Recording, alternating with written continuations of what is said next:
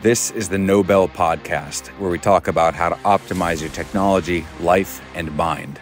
We're joined by special operations veterans, entrepreneurs, investors, and others who have overcome difficulty to make it to the top of their craft by staying in the fight. All right, let's rock and roll. So we'll start off with what's your name and where'd you grow up? My name's uh, Chris Angarita. I grew up in Oak Park, Illinois, just a small town about 20 minutes directly west of the city. Illinois, okay. When uh, where'd you go to school? Went to a few grade schools growing up. The longest one being uh, St. Giles, again within Oak Park. Uh, then went to high school in Oak Park as well, Fenwick High School. Did you? I always ask this question, especially with team guys. Did you get in trouble a lot as a kid? What were you like as a? I actually wasn't a troublemaker. I was a pretty straight laced kid. Uh, studied, played a lot of sports growing up. Fairly restless, but I never really got into any trouble per se. I was actually the the the one off good kid. That actually surprised me. the teams. You seem like a reformed bad kid. So, Yeah. what sports did you play? played soccer my whole life Hmm. and also ran track and field as a, as a sprinter and a pole vaulter. Did you go to college before the Navy? I did. Yes. I, I had the intent of being a SEAL since I was 12, whatever, for whatever reason that remained with me. High school, college, again, with the intent of enlisting as soon as I graduated. Did you play soccer in college? I didn't. I didn't. I should have, but I got too into yeah, enjoying college life Right. to do that. All right. So, SEAL at 12. That's the earliest I've ever heard. I was, I think, like 15. A couple guys are usually around there. Why, why 12? What did you see? What did you read? so always always a reader grew up uh, my happy place was really libraries or bookstores growing up so one day i was kind of you know, in the martial arts martial arts section of the the library uh, i just happened to see I, I still remember this a book poking out and it was the first nonfiction book i believe written about seals it's the guys coming out of the water with the, the floppy hats on i don't know if you remember that The men in green booty faces. caps. It wasn't Men in Green Faces. It was a book about a nonfiction book about seals and train pipeline. I don't remember the name of it. Saw that, pulled it out, read it, you know, front to front to back, and decided that's that's what I was going to do with my life. Well, I mean, well, so as a 12 year old, super cool, people with camouflage in war, guns, getting after it. But what was it about that, that latched inside of your brain that young? I don't know. I think at that age, you know, there's. I'll be very frank. There's nothing to do with service or Yeah. dedication to country at that age. I don't think you understand the import of those things till later on. But it was the idea that this looks really exciting. Jump out of planes, dive, shoot, blow stuff up. Uh, but also is a sense of like this is sounds like it's difficult, and I w- I wonder if I have what it takes to do this, right? And then joining that elite team. Turns out I'm afraid of heights and I don't particularly like diving or being underwater, but it was the right choice for me. The height thing is funny. So, how many skydives do you have right now to your name? Uh, uh, probably 700. 700. You still afraid of heights? Yeah, still. And it's amazing. How, Yes. That's ironic. So, uh, you said you, you enlisted after college. So, can you go into the calculus behind why enlist versus why officer? Although there weren't a lot of books written about SEALs at that time, I knew enough to know that if I wanted to do the job of a SEAL, e.g., you know, kind of be the first person in the door, be the guy to go into the different schools, tactical schools, whatever it is, I needed to go the enlisted route. I knew enough to know that as an officer, I'd be doing a very different job, an important job nonetheless, but a very different job. And it's just not the one that I wanted to do. When did you actually officially enlist?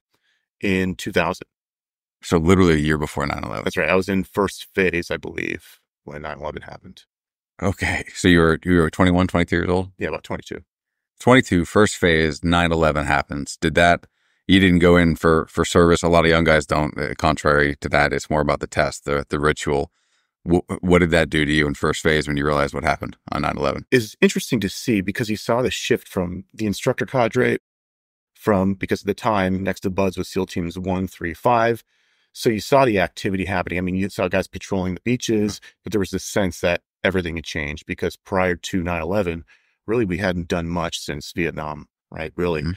at least any sustained combat. So there was a whole new mindset around what's going to look like moving forward. And, and there was like this air of excitement in the air, really. I mean, it's, as crazy as that sounds, guys now understood that they're, they're going to do the job that they were trained to do. it's interesting from my perspective so i went through Buds 2008 and i was already seven years into this thing like it was was from day one in 2008. What we did two seven two seven one I could have been. Yeah. I don't. I got there in June of. Wait. I literally got to second phase, I think, in June of 08. Okay, so I must have just missed Yeah. you. That's incredible. So that, that was obviously very serious. Like I remember in, in Hell Week, I was low crawling. I was delirious. It was day five Hell Week and my, my butt was a little in the air. One of the instructors, you probably know him, said, get your fucking ass down because if you don't, it might get shot off. So like it was never a doubt as to what we were doing and why it was serious. So I wonder, so when you were a student, what, what did it do to your own mind when you realized in first phase 9-11 just happened? You were going through selection to become a Navy SEAL. Did that drive the point home you were going to be overseas right quick? One hundred percent. The reality is, you don't know what you don't know, and you don't know what you're getting yourself into, where we would be deploying, what we'd be doing. But there's an understanding that we're going to be doing something as soon as we got to the team, and I think everyone was excited about that. Because prior to that, like you were just going to hope that, uh, you know, when I make it through this pipeline, that I'm going to see some form of action. But now it was it was definitive. So when you went in, did you get a rate before you went to Buds? I did, yeah. At the time, you had to get a rate. So if anybody doesn't know what a rate is, it's your job in the Navy. So it could be a gunner's mate, an electrician's mate, whatever that is. So at that time, you had to go to A school first. So I went to gunner's mate school right after boot camp. It was like one of the shorter ones I could find. I think it was four months or something. Just sounded cool, although it was not. Did that and then straight to Buds right after, right after A school. So you read, you know, the book or books before you got in. How did Buds measure up to your expectations? I've heard a lot of you guys on podcasts talk about how you guys loved Buds, how you found it and measured up to your expectations. I hated Buds. I was a terrible Buds student. Hated every single day of it. I found nothing. I've heard several people at this point refer to Buds as beautiful in some form or fashion. I hated every minute of it. Didn't find it beautiful. it terrible. I hated it. I was I was terrible. I was not a good runner, not a good swimmer, not good at the O course. Uh, I think it was Dusty was talking about the second time. ever- I was a third time every time guy, right? So every major test that you had to do in order to progress, you get three tries. For the people that don't know that, I was the guy that passed on that third try every time, always on the edge of getting kicked out of buds, Mike, were you goon squad a lot? all all the time, all the time. It. The harder, not smarter pathway. That's right. All right. So you go through Buds, West Coast teams, East Coast teams. Yep. Started on the West Coast, SEAL Team One. Went right there. Did several deployments. Um, SEAL Team One. After that, made my way to Buds. It's just talking about 2008. Was there for about three years. Where did you deploy when you were at Team One? Two two times to Iraq. The first two to Iraq. Were they pretty kinetic? They they were. The first one was we were doing a lot of direct action missions. Uh, we did that with the the Polish Grom as well. That morphed into doing the PSD mission, so protective services for the president, prime minister, and the two vice presidents of Iraq. So kind of split deployment going that. So the first half was more exciting than the second half for sure. And then the following deployment was uh, back to Iraq doing more kinetic type operations. So if you had to sum up your Team One experience overseas, what were your favorite aspects, and then compare that to the worst aspects? I think for me, I mean, doing the PSD mission was a little disheartening just because we wanted to be doing the kinetic stuff. That's there's really what you want to do when you join, right? That's what you have that's what you envision, that's what you train to. So moving over to the PSD mission, not as kinetic, certainly looks a lot of standing around waiting for, you know, some of these VPs to get out of their meetings or whatever it is. Not as interesting. So that was it was a great learning experience. You know, I we we had a great group of dudes of the team, so I enjoyed that, but not as interesting as the first half of that deployment. Second deployment was a lot more interesting. Again, going out almost every night, hitting houses, and I, I just enjoyed doing that kind of work. But the planning that goes goes into any one of those missions, getting the team together, figuring out who's going to be doing what on target, rehearsing that over and over, and then executing it. Coming, you know, getting that intel off target, processing all that data, figuring out what's next, and then hitting you know the next place the next night. That cycle was just there's there's just something great to it. Let's dig into that for a minute because you reminded me of some stuff in the past that when it initially starts off, things feel a little edgy, a little uncomfortable, unsmooth. Yeah. And then over into a rhythm. time, you get into a rhythm. You start iterating, A B testing, Yep. things get better. Can you talk about how that improved over time through those direct action missions? and What got better? Why did it get better? How the mindsets change? The reality is leadership at the time too hadn't had any combat experience, right? So my first deployment to Iraq, this was my leadership, my chiefs, our LTs, also first deployment to a combat zone. So it was it was a pretty steep learning curve, right? We would turn over with the the departing SEAL team that we would turn over with and try to get as many of their SOPs as we could that we we just determined were working for them. But at the end of the day, it was a lot of iteration. Like, oh, maybe we shouldn't have landed that close to the target. Right. Right. We got lit up as soon as we landed. May- probably should think about this a little bit differently the next one. So it was a lot of learning, but developing new tactics on the fly while we were yeah, getting back into combat after, you know, stagnant period. So your leadership probably didn't have any actual combat experience, actual firefight experience. What was that learning curve like? If there even was one, was it just a smooth fit or did that have to take some uh, tempering? No, it was a pretty smooth fit. At the end of the day, we trained to all those scenarios and we trained for all those contingencies. So the fact that, you know, you know, my chief or lieutenant or whatever it was had never fired a shot in anger was immaterial, Hmm. right? Because they knew what they were supposed to do on target, right? They hadn't done it before, which is fine, but they knew what they needed to do, and, and they did a great job. So let's go back to Buds as an instructor. If there's one thing I'd regret, it's not going back and being an instructor. First phase, Yeah. that, so first phase of Buds is first, can you explain what first phase of Buds is? And then two, how did it change your view of Buds itself since you had kind of a more miserable Yeah. experience in Yeah. Yeah. and add a little bit more meaning to it after a couple of war deployments? We had a great group of cadre there. Everybody kind of takes on a different role when you're there, right? There's the nice guy, the hugger, there's like the guy. The nice guy roles were already taken, so that wasn't me for sure. But everybody there was extremely professional. And when you're a student, you don't see that, right? You see these psychopaths in front of Mhm. you trying, literally trying to kill you, it seems like at the time. When you go back there as an instructor, what you realize is that everything is really well scripted, right? First phase, for anyone that doesn't know, is the first real phase of SEAL training, right? You'll, there's a pre phase that doesn't really count, but there's three phases in BUDS. First phase, which is uh, the physical conditioning phase. That's where Hell Week is, generally in the third or fourth week. The second phase is dive phase. And then the third week is land warfare demolition phase. So I was an instructor on first phase, which entails Hell Week. And this is really the kind of the crucible for most BUDS students. This is where we're going to lose most of the candidates. They're going to, from DORs or uh, injuries as well, right? Once they make it past first phase, the vast majority of them are going to graduate. So that's to, to go back. That's where I was. But I, what I realized is nothing at Buds was an accident, right? We had a detailed plan for every day, especially Hell, Hell Week is scripted down to the minute.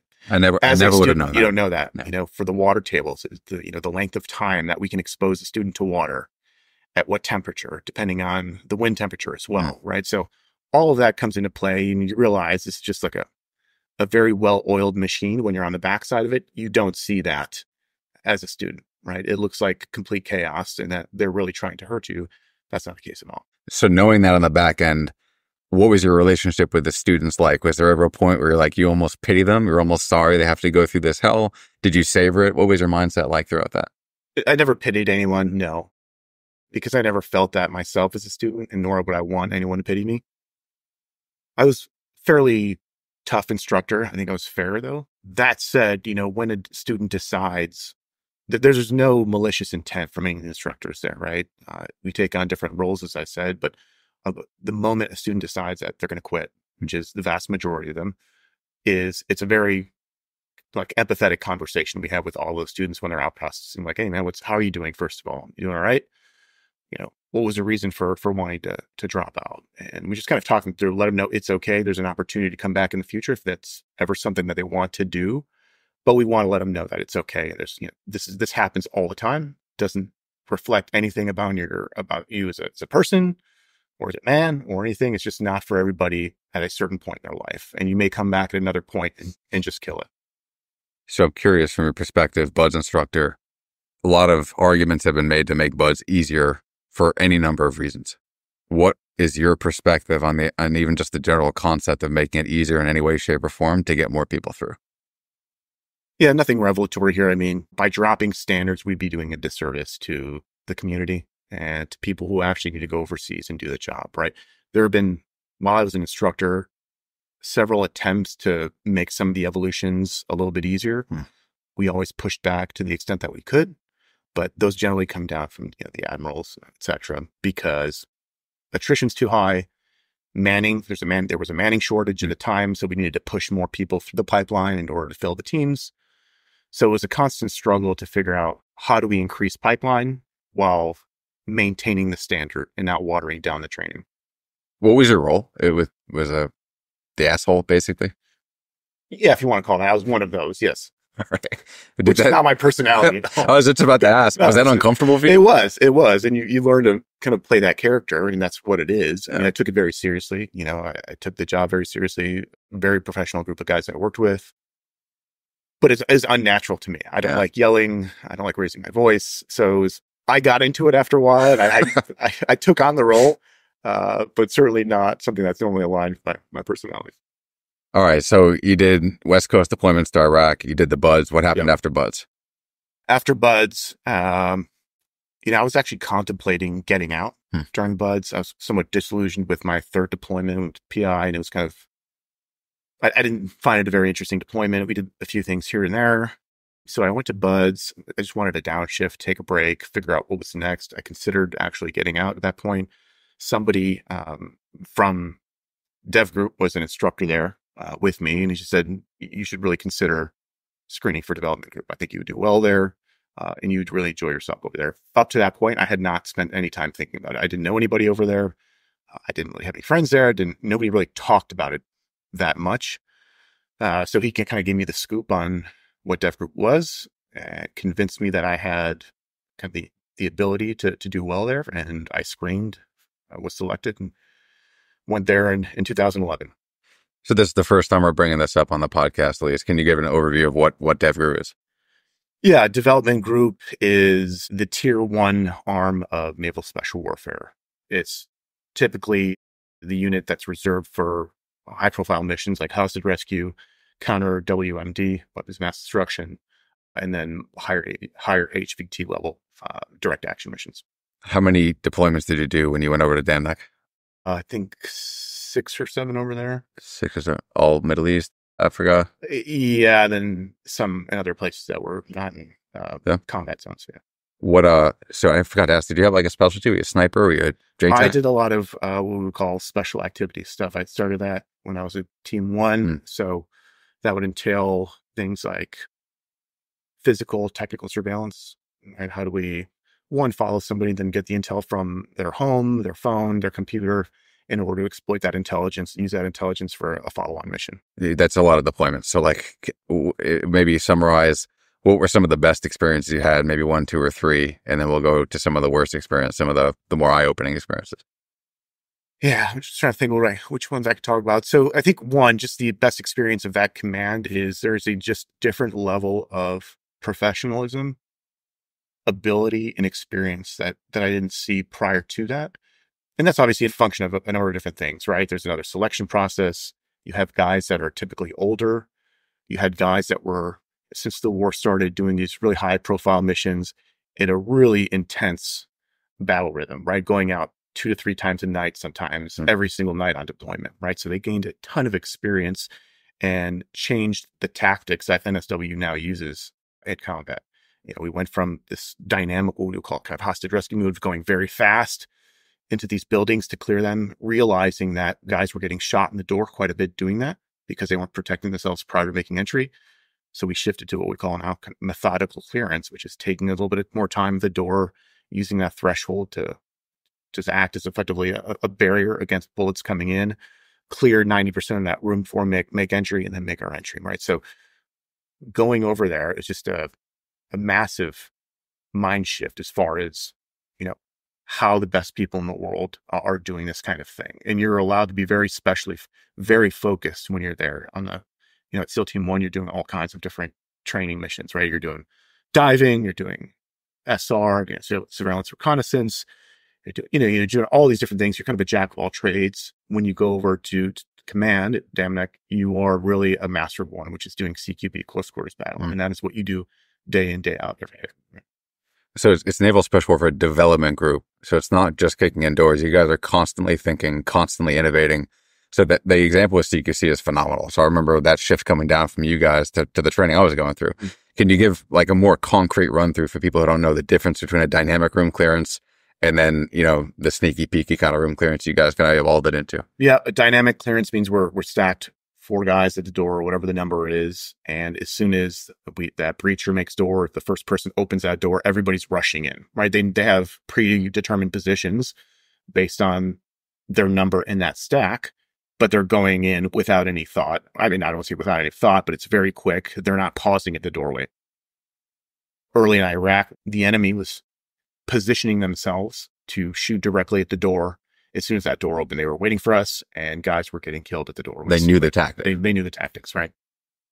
So what we transitioned to is called combat clearance or methodical, which is take a little bit more time at the door. We're going to pie the door, basically use the edge of the, the wall, the, the frame of the door as a bullet trap effectively, clear as much as we can, as slowly as we can, peeking into the room, effectively clearing as much of that room as we can before we make entry to make sure there's no threats inside. Then once 90% of that room is cleared, you know, now we just have really effectively the corners to to take care of. The evolution of the combat tactics are literally written in blood. Yep. Like that is the most high stakes A B testing in the world. It is. So one thing you told me before too on a cover is like th- there's two ways to go about a career. There's the I want to make the highest rank I can as fast as I can. And then there's the other approach where like you you love being on the ground. Yep. You love being boots on the ground and you make a different career choice. You want to talk about like the difference between the two and the choice you made? there are folks that are more rank focused, mm. right? And there's nothing wrong with that. Uh, they see that as a career. They want to rise high, as high as they can rank wise into the military. No issues with that. I was more interested in just doing the job and finding things that were interesting to do. I think people have a concept of if you're a SEAL or a Ranger or SF, you're just kind of doing one job your entire career, which is not the case at all, right? There's opportunities to learn all kinds of new skill sets, go to different teams, different units, and do something new every few years. And that was more interesting to me than staying in one place and, you know, and trying to kind of effectively climb that ladder as fast as possible. Again, nothing wrong with that. It just wasn't where my interests lied.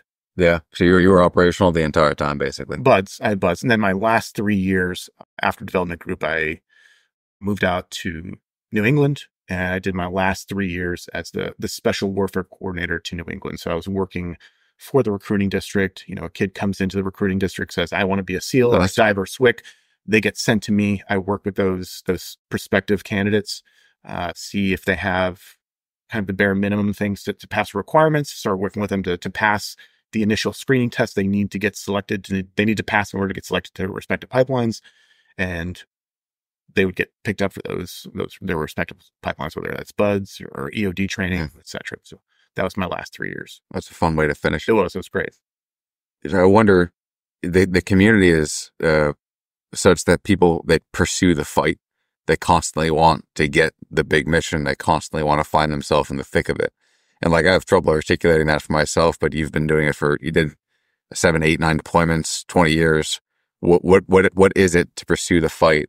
Can you articulate what that that that primal impulse is that keeps people trying to be operational? Obviously, there's an excitement to it right? There's almost an addictive quality to to going overseas and mm-hmm. doing that job.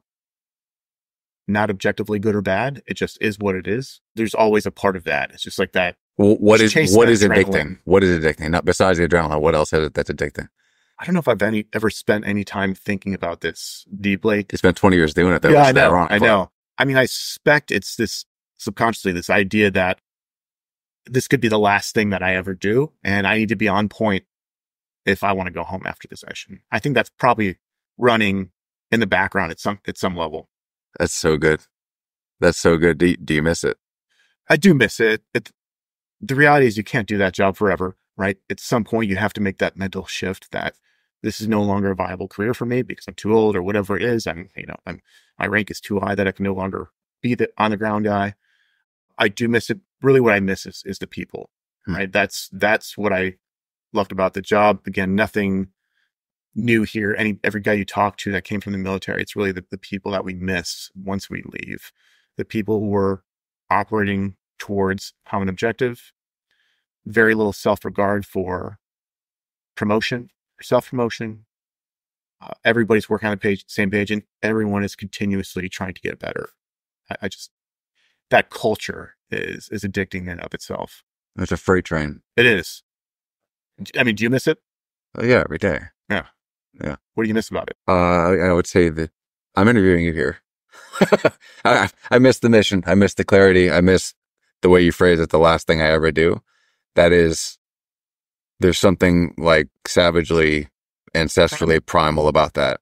It is so deeply satisfying. And like you said, when you were a kid, you're 12 years old. There's a reason why I think so many young men look to something like Buds because something's not being fulfilled, Mhm. and that at that primal ritualistic level. Yeah. I mean, this goes into a deeper conversation, which is like as a kid, I felt like I always had to prove myself, probably growing as a father, not a very good father, somebody who wasn't very emotionally attached to his children, uh, never really said, like, I love you or, hey, good job. So I think a part of me was always seeking validation throughout my whole life. So I've always, I've done well wherever I was. And it's probably a part of that. If I had to psychoanalyze myself is I was seeking that validation. I want other people to say, Hey, good job. Interesting. I think that's probably why I took to it that early. Interesting. All this went on 20 years of that, hitting it as hard as you possibly could. What was the inciting moment, I suppose, when you realized you were going to transition out of the military? I made this decision that at 20 years, I was going to stop. I felt like that was a good round number, get my retirement, but also I wanted to be young enough to do other things, right? other interesting things. I say this all the time. I had no hmm. foresight into what I would be doing, but it's interesting stuff with good people. I didn't care what industry that was, what role that was, fairly agnostic when it comes to that. I just wanted to do interesting work with good people. So made that decision that I was going to transition in that last three years where I was the, the special warfare coordinator in New England. You know, one of the reasons I took that job too was just to be able to downshift a little bit, especially, you know, coming from where I came from, spend more time with the kids, but just think about transition too. Like, what am I good at? Right? What do I want to, what's interesting to me?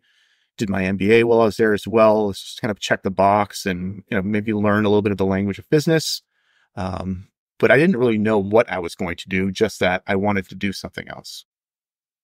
So digging into the transition, this is huge for everybody who's been in the military, who's in the military thinking about getting out. It is it is hard, and everybody there's a lot of similarities, but then a lot of differences too. So I'm curious for your transition.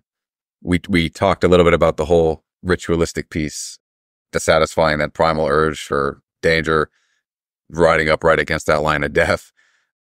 When you transitioned out after 20 years of doing that, what, what were some of the biggest battles you had to face? probably nothing unique here, but it's the loss of community, Hmm. right? You once you leave the community, it's gone, right? That train keeps moving, and it's hard to keep in contact with people because they're busy. The folks that are still in, anyways, you probably are moving to a new location. That was my case. So leaving Virginia Beach, where that you know I had that community, and the moment you leave, one you just miss the people and you no longer have that direct connection every day because at the end of the day every single day we went to work with our best friends and then you leave that and now you're in a totally different environment with people who have in many cases very different values that you do right uh, you go into the corporate world if that's what it is and you have folks who are more more conditioned to think about promotion Mhm. and how do i climb this ladder than about working towards a common objective and that can be really discouraging for a lot of people getting out it's like wow this is very different the excitement, I was okay leaving that behind. At the end of the day, I can find excitement doing other things. But it was that that sense that I, I lost kind of a, a portion of my family, if you will, Do you still feel it? all the time. Yeah, all the time. Is, I say, you know, one of the most important things guys can do, guys and girls can do when they transition out of the military is stay in contact with folks every day. You know, not, it doesn't have to be every day, but I've gotten better over the last couple years, just reaching out to buddies and be like, hey, what's going on? Just sending texts back and forth just to check in, see how guys are doing, getting on a phone call, talking to somebody, you know, on the phone actually, and just seeing how they're doing. And, and that was a way for me to just stay connected. And I think it's an important thing for anybody, you know, battling different issues as they get out, especially guys who have been doing this for a long time. You know, there, there's certain things you have to deal with psychologically and being able to reach back out to folks and connect with them. we kind of got like a little ancestral tangent, so I kind of want to Yeah. plumb that depth a little bit more. But when you you look at the, some of the pre-state tribes, the warriors were fully integrated within the village. Mm-hmm. The their wives, their children, their cousins, they all experienced the combat literally alongside the warrior. Yeah. the whole thing was integrated. In the SEAL teams, it, it is literally completely separated. There's a complete line of demarcation, and there's a complete separation of personal and work, of the Right. war, Yeah. of the peace which I think makes the transition that much harder and it creates almost like a, a dual self. And for my part and for a lot of people's part, there's that conflict of selves when you get out. Like what what does this mean now for me to be Yeah. Chris Angarita as opposed to the team player, the team guy? Yeah. Did you did you experience that? Well, let me ask you, as a SEAL, did you feel that when you left? Like my identity was a SEAL? I would not have admitted it while I was in the, the teams, but I painfully learned that the answer is yes when I got out. Yeah. I think I, I was able to shed some of that early mm-hmm. on. I think when I was young, certainly, you know, when you're young, I think that's just a function of youth. It's like you get attached to this thing. It's elite. It's exciting. It's well respected. You get, you get kind of addicted to that. You know, I don't know, the, the cachet of it, I guess. I think I shed that a little bit later as mm. I, as I gained a little bit of maturity. So I never, I don't want to say never, but I didn't wrap my identity around being a SEAL. It's like I loved my job, but I realized it was just a job. And the moment I leave, nobody's going to care because somebody's going to fill in my spot and that train keeps moving. Yeah. Right. So I, I think I did a pretty good job of not intertwining Chris with SEAL early on. That said, you know, you still miss those things when you leave, right? And it's to me, it's just more about community. That's a phenomenal, like psychological feat that, that requires a tremendous amount of introspection. So, wh- where did you go? Where was the first place you worked after the military? So, uh, as soon as I left, I started working at Microsoft. I had a, f- a friend that worked there. Said, "Hey, you, you, you might really enjoy it over here." I was on the federal side of the business. He's in business development. He said, "You'd like the team. You'd like the folks here." So, I started interviewing. Got hired shortly thereafter. So, my first job was was at Microsoft, doing business development type stuff. Was that a surprise to you that you ended up at Microsoft, like a major corporation, after doing what you were doing? I don't know that anything could have surprised me. The reality is, you don't know what you don't know mm. when you're in, and what the outside world is supposed to look like, or where you fit in, or where you have the aptitude or the right cultural values to fit in. So, I was just happy to to go to a what I thought was a great company, and it is a great company. So I was happy to to be there. I learned a ton there. I just learned that it probably wasn't the place that I wanted to stay forever. Culture is extremely important to me. There are great people there. Uh, I, I still have friends from there. The value alignment, I don't think was there for me. And, and I knew when I got out, culture was going to be very important. At the end of the day, I think you can find a good culture anywhere, but there's just some things that were missing. You know, the people that have similar experiences as you kind of speak the same language. Uh, but again, going back to the same things like working towards a common mission and very little self regard for me or for promotion. I, th- I think I missed that a little bit. So uh, I learned a ton there, had a good time, but I knew that after a couple years, I was going to be looking somewhere else. Did you did you sales at Microsoft initially? Yep. What what so what drew you to sales? And I'm asking from the perspective of what your specialty was in the teams. You kind of had the secret squirrel kind of thing going on there. Was that was that part of the aspect of sales? I don't think so. I think it just fell into it. Mm-hmm. The reality is, um, I had somebody who was already working in Microsoft who explained what the job was to me. It sounded interesting enough, and that's what I was looking for something interesting. Mm-hmm. That was going to be dynamic, changing every day. And I said, "Yeah, I'll, I'll give it a shot." And was fortunate to to learn from some really good people there. But I think, like a lot of guys, when they get out, they just fall into things. Uh, we planned and planned and planned, and go to school for different things with the intent of doing something specific. The reality is we just kind of fall into certain things. So, like you, I had no intentions of getting into the, the current occupation. Yeah. So, I wonder what what do you think about sales, like conceptually, philosophically? But mo- I think most people, when they think of sales, will think of like a used car salesman or something like that. Sales, I, I realize the hard way is, is a very different job. It is a.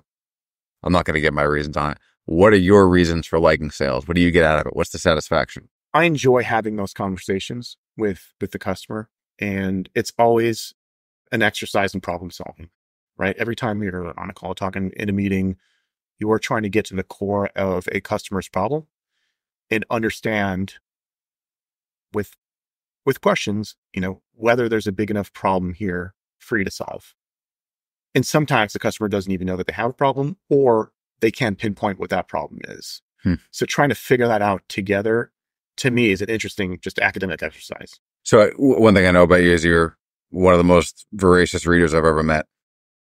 This kind of ties into most of the stuff we've talked about so far. So just to kick it off, why do you read with such intensity? The word intensity implies effort.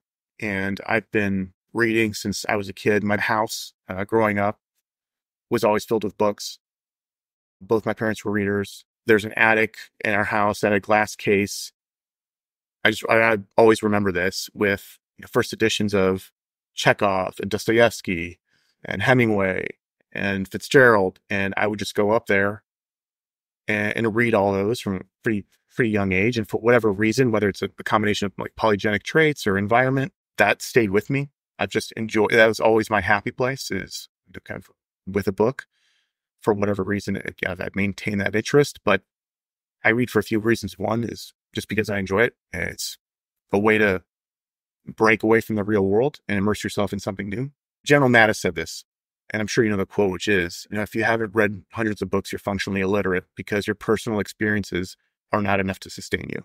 I love it. We could, we could argue about the first part of that, whether you're functionally illiterate if you haven't read hundreds of books, but the cert, I think the second part is certainly true. By definition, your experience is an N of one, right? And how do you, how do you scale that, right?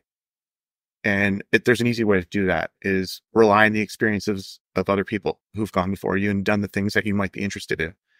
Whatever you might be interested in, there's a book about it. And if you want to learn about the, the world around you and the people who inhabit it, you can find that in the book. So I'm interested in the world around me and the people that I walk with every day.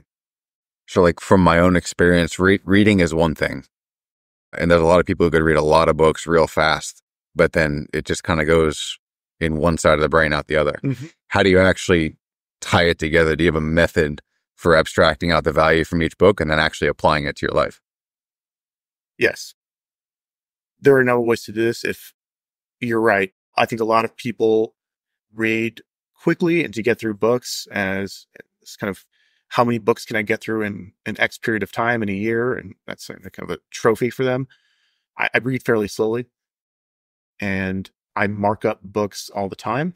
And then I write in the indents because writing forces you to think about what you're reading and put that on paper and it just helps retain that information. So I'm constantly, and I'll do synopses after each chapter as well for a lot of nonfiction books, just so I understand it. And I'll go back to that book a week or two later and look at those again to make sure I'm re-ingraining that in my brain. Mm. So like when I'll, I'll, try to do something similar when I read, I'll try to write down like one or two, maybe three things. Yeah. And try to like carry it with me almost on a note card. Yeah. You, you try that method? That's like the, the Ryan Holiday method, right? Where he's got a note card for every book he's read. He's got multiple note cards with whether they're quotes that he found interesting in the book, the big ideas, and he's got a whole you know, box full of different note cards, oh genres, right? Thousands of thousands of those. But I think that's a good way to do that. But I most of that made stays in the book itself, in the end of the chapter, in the margins. So you mentioned you write, you take notes from reading. Your books are marked up. Do you do you write? Do you write for personal essays? Do you keep a journal? I do. I write. Yeah, I think writing is a forcing function for clarity and concision, and I would argue that you don't know what you believe or why you believe it until you've put it down on paper. I love it. Right. Writing forces you to think about the things that you think about and to make them concrete. Until then, they're just these ethereal, you know, notions running around your head and putting them on paper requires you to think about what you actually believe.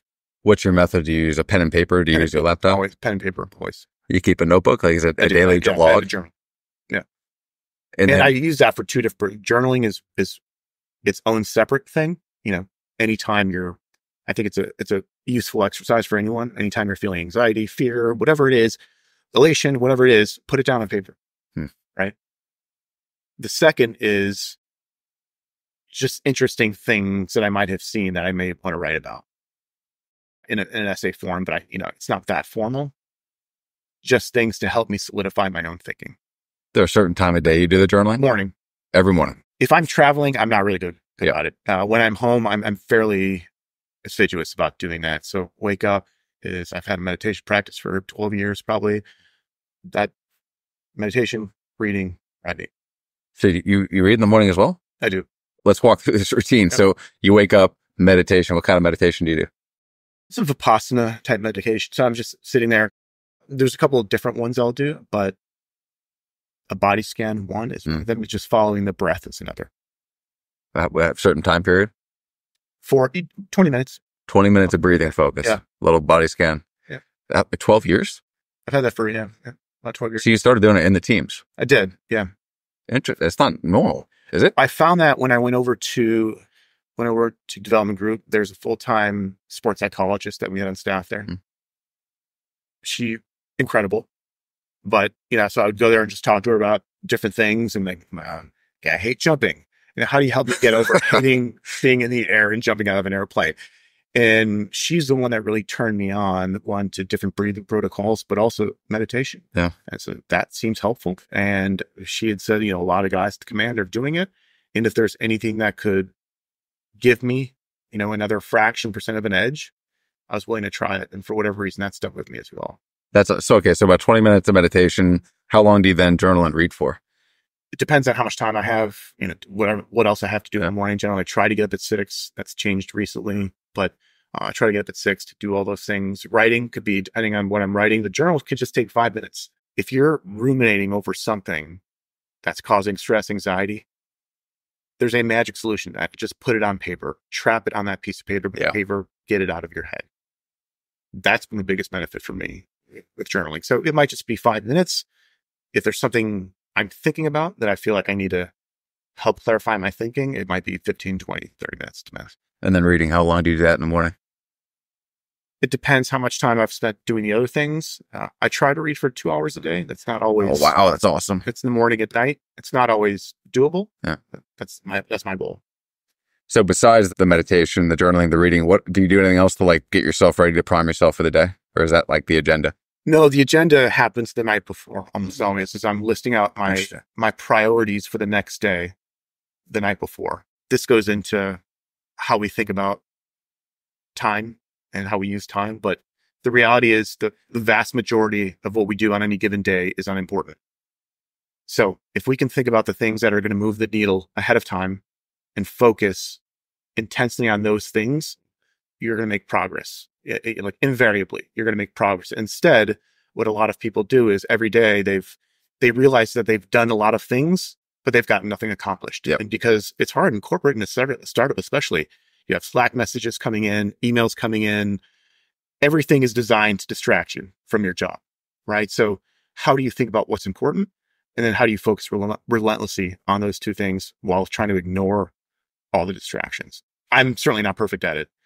I, you know, I succumb to, you know, responding to Slack, you know, as soon as somebody sends a message all the time. Like, so I have to just turn it off. And that's a forcing function for focusing on the thing that I'm doing. What does the nightly routine look like? Is there a certain agenda you have, a way you approach it? No, I'm just, I have my, my notebook that I put everything in, and tasks for the day, whatever it is, my, my schedule. The night before, typically I'll write out the, you know, the two to three big things I need to do the next day. I like that the night before. I've never done that before. When it comes down to like building your schedule, blocking off time, time for emails, time for decompression, how do you approach that? So besides the night and the morning, how do you approach that throughout the day to make sure you're kind of optimal? I think it's important. Time blocking is a hack. Setting aside time for deep work. Cal Newport talks about this Mm. all the time, right? It's so easy, like I said, to just get distracted. So putting, blocking that hour, that two hours to do whatever it is that's going to meet, move the needle for whatever your role is, is critical. Everything else can be done. It's, I think using the Eisenhower matrix is always a useful frame, framework for that. I don't know what that is. you know, Eisenhower matrix on one axis, you have urgency, less urgent, more urgent. And then on the y axis, you have importance, less important, more important. And you can determine what needs to be done, what we really need to focus on, depending where the intersection of those, those things lie. So very urgent, very important, needs to happen right away. For example. So I have the Eisenhower matrix written up to Google it, look, take a look at it. I have it on a whiteboard. It's just a reminder, like, is this thing that I'm doing right now important? And the reality is most of the time it's not. I like that a lot. I'm gonna use that one. How do you get your best work? Before you even do that, you brought up Slack, and I, I constantly wonder about Slack. Yeah. It is a double edged sword, and Mhm. I'm almost wondering if it's actually worse than it is good. And I, I say that because you talk about deep, deep work, like getting into a flow state, actually getting a consistent strain of thought for a long period of time. Slack is deliberately designed to break that 100%. any second of any day. And you're constantly task switching throughout the day, Yeah. which we know is detrimental. Yep. I almost wonder like what company would have the the audacity to say, you know what, we're going to stop Slack for three months to see if it increases pro- like productivity. It's one of those things you have it, you almost feel morally obligated to use it. And you become dependent on it. How else do we communicate if not through Yeah. Slack? Do you manage Slack? Like you say, you'll answer like a late night Slack message. How do you how do you manage it? I manage it better after hours than I do during the day. Yeah. Uh, and I'm it's, it's something I fight with every single day. It's like, ah, do, I, do you respond to this right away? It just came in. Oh, another Slack. I wonder who this Yeah. is from. When I'm trying to do something that's going to actually move the needle, like I talked about. So, work in progress. After work, I'm pretty diligent about being focused on you know after work stuff. Yeah. Whether it's kids, hobbies, whatever that is. I, I deliberately don't Slack after five thirty It's for that exact Right. reason because I don't want anybody to feel like they need to they need to respond. Yeah. Like if it's important enough, pick up the phone and call me. Yep. And we'll actually address it. If not, it could wait twelve hours. Like that. That's I wish I had a good answer. I don't. yeah. It's worth thinking about. I think everyone's going to be thinking about it soon enough. How do you get your best work done? Do you have some sort of music in the background? Do you have techno blasting in a certain location? Do you, you set intentions? I know that for sure, but how do you think about that? depends on what I'm doing for the day. Music, I'll I'll typically have music in the background, uh, classical or just Yeah. sometimes just white noise. Um, I think having that kind of external stimulus to me is puts me in a calming state. It actually helps me focus. I'll do that. Typically, if I don't have a ton of calls, I'll do that at a coffee shop just to get outside and change the environment. I think changing the environment is really important just to do better, just to do your best work. Other than that, it's turning turning off Slack every once in a while so I can do the, the real work. So What What about working out? So you're, you're obviously physical. You're still physical. Do you have a philosophy behind your workout program? A, a time a day to do it? How do you think about it? I used to do that first thing in the morning. I've pivoted to doing that later after work now. My philosophy at if I'm 46 now, so the philosophy is try to maintain strength and try to prevent myself from breaking too early and just ma- staying healthy. Yeah. Yeah, I'm not trying to PR anything. I'm not trying to win any bench press contests. I just want to stay healthy and mobility. I focused more and more on mobility. As, as you get older, everything hurts a little bit more and tightens up. So I think that's just critical in maintaining good health and and being as pain free to the extent that you can be pain free as you can. You follow up anybody's workout program? Do you make up your own stuff? I make up my own stuff.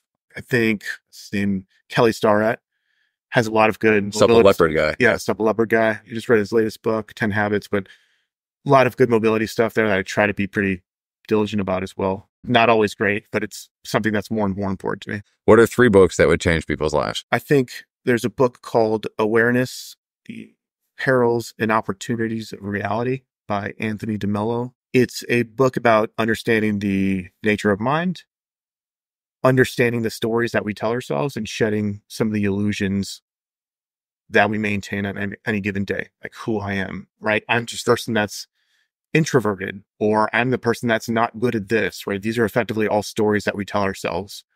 And the reality is, we're not any one of those things right? These are just thoughts that pop into our conscious mind and we run with them. So, how do we realize when those thoughts are making themselves into the, the conscious mind and learn that we don't have to be a slave to those thoughts or emotions? We can actually choose our own path. It sounds like a logical approach to meditation, almost like a constant awareness. And that's why you meditate is one to realize when that thought is presenting itself, right? Hmm. When anger presents itself. Typically, you're just going to run with that feeling. That guy cuts you off in traffic. You know, your first reaction is to flip him off, and then it, it just ruins your day for the next 30 minutes, hour, six hours. Where meditation has helped me is realizing when that emotion presents itself. Viktor Frankl talked about this, which is between stimulus and response, there's the ability to choose, Hmm. right? There's space. In that space, there's ability to choose. And in that choice you make is the opportunity for growth. And I think that's right. Realizing that as soon as a stimulus presents itself, a thought, emotion, and it finds its way into the conscious mind, that you don't have to react to it, right? You don't have to be a passenger in that vehicle. You can go your own direction right? So that anger doesn't have to stay with you, that jealousy, that whatever that is, that fear, that anxiety, that's a choice. And Epictetus talked about this is like, there's nothing objectively good or bad out there. It's just the stories we tell them ourselves about those things. You're making me think. I, I wonder when you look at CQC, close quarters combat, clearing a house. That is that meditative state where you're you're Yeah. not going to give into a bout of anger when you're clearing Yeah. a room. You're in complete command. I almost wonder why in, in the teams or anywhere else, that same sort of awareness isn't cultivated in every other aspect of life. That's what you're talking about. 100%. Yeah. That's worth thinking about. Yep. All right. What's number two? I think many people would benefit from reading Thinking Fast and Slow. Daniel Kahneman. Yeah. Daniel Kahneman. I don't know that people realize, many people realize the cognitive biases are inherent to our operating system. They're always back there kind of moving. And once you start to realize that I am biased in a number of different ways, right? Recognition is the first part, then realizing that we can do something about those biases, mm-hmm. whatever the, whatever the cognitive fallacies are.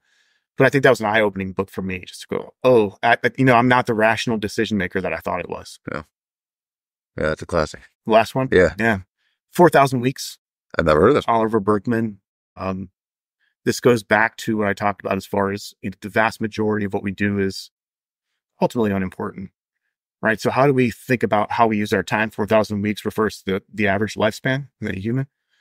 How do we think about the time that we have on this planet, right? And is it just to increase productivity, right? There's like these, all these fads about productivity, increasing productivity. How would we do more? And the idea in that book is, yeah, you can do more in less time, but then they're just going to fill that with more work to do. But what do we, how do we actually think about what's important? whether the thing we're doing is moving the needle and how we want to spend the rest of our lives. So I've been debating on like including asking this question. I think I've only asked it once, but given like the arc of this conversation, the, the 12 years old, the chasing that, that last thing I ever do, all three books you had were about being aware That's it. of life, of what, what, what the hell are we doing here? So like if you had like a, a billboard, what is one thing you would pass on as a bit of wisdom from everything you've gained? try to understand the nature of mind. At the end of the day, our the quality of our life is a function of the quality of our thoughts. And if you can learn to understand the thoughts that you're having when they present themselves, ultimately, I think you, that's the key to living a more fulfilling life. Last question: One person, dead or alive, who do you want to have a conversation with? Hemingway. Hemingway. Hemingway. After everything we just talked about, why Hemingway? Hemingway. One of my favorite writers. Interesting. Uh, it's an interesting character to studying his history uh, and what he did. He had his hands in a lot of different things, right? And I just think he would be an interesting person to, to have a beer with. Uh, rock and roll. All right. Anything else you want to add? That's it, man. Appreciate the time. Appreciate it. Thanks, dude.